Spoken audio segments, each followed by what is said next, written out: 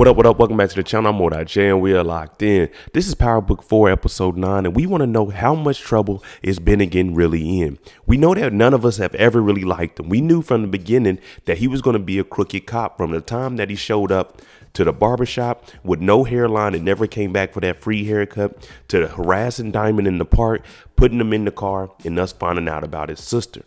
Now, we've seen that things are starting to get more interesting with episode 9 and 8 with this new officer trying to come and collect some money. And this has Bennigan acting all the way out of character. Now, before we break this down to see how much trouble he's in, shout out to the notification gang. If you're new to the channel, you'll be a part of it. Hit the subscribe button, turn on your notification bell so you get something every time I upload. Hit that like button, it's the easiest thing you can do.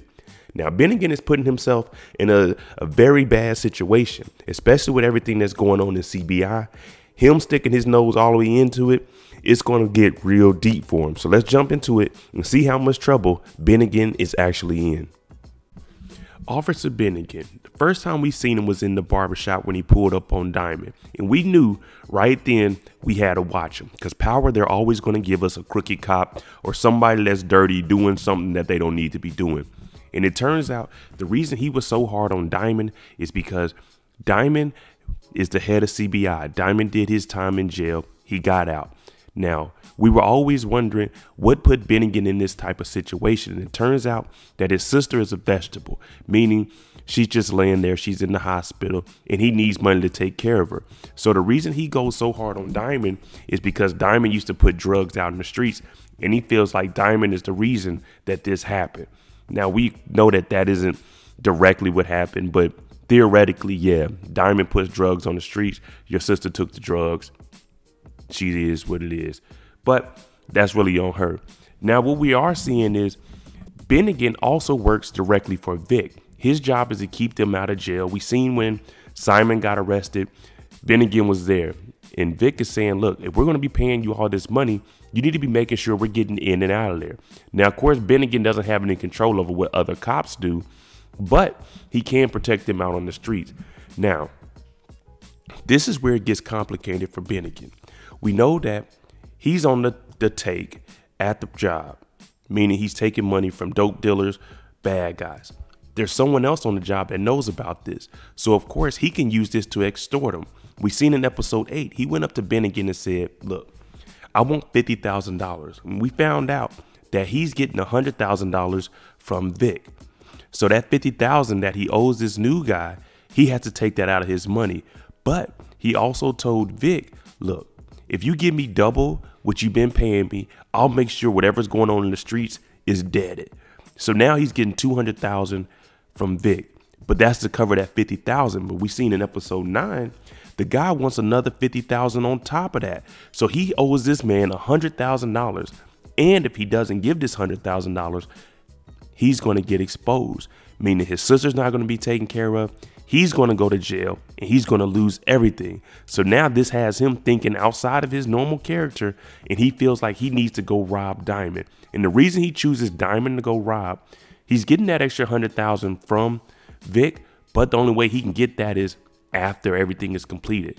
So he's going to have to come up with $100,000 in a couple of days.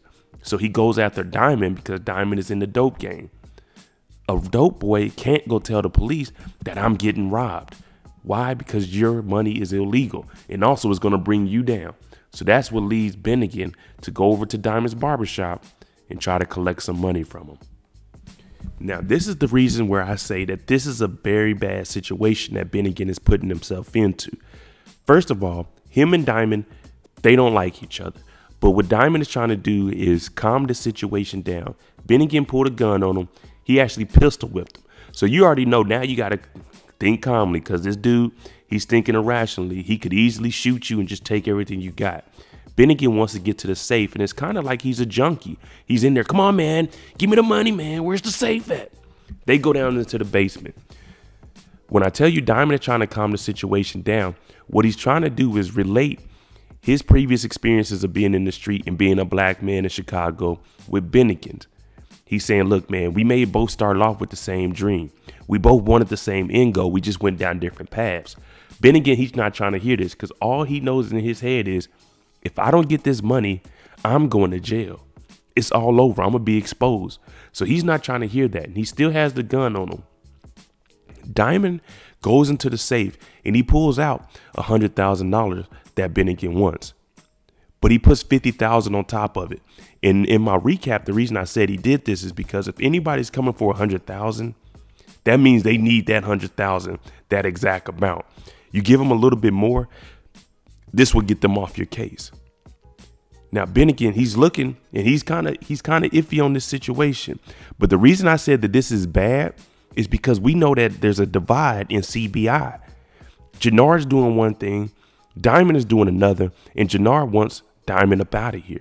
So if he finds out that $150,000 is gone, this is going to make it worse between Jenard and Diamond because Jenard already thinks Diamond ain't running things correctly.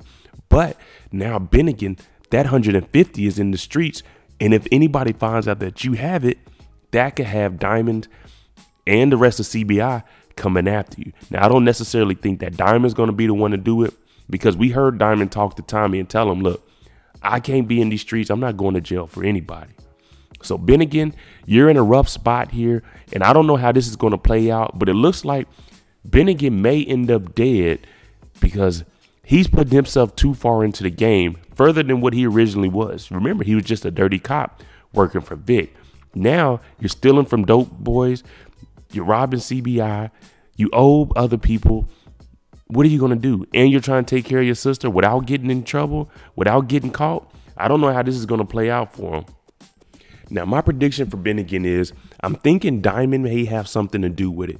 As far as letting Jenard know, hey man, there's a cop he came, he took $150,000. Now, I know that Diamond and Jenard, they aren't seeing eye to eye, and, and I don't want to have to see Diamond get rid of his brother, but I could see him having either Blaxton or Jenard do something to set up Bennigan, and that's how we remove him. I just don't see Bennigan lasting throughout the season, or if he does, he'll be gone early in season two. It's just no need for him anymore. I mean, he works directly with Vic, but Vic he's over here. He's back with the Flynn family. I don't really need the protection from just Officer Bennigan.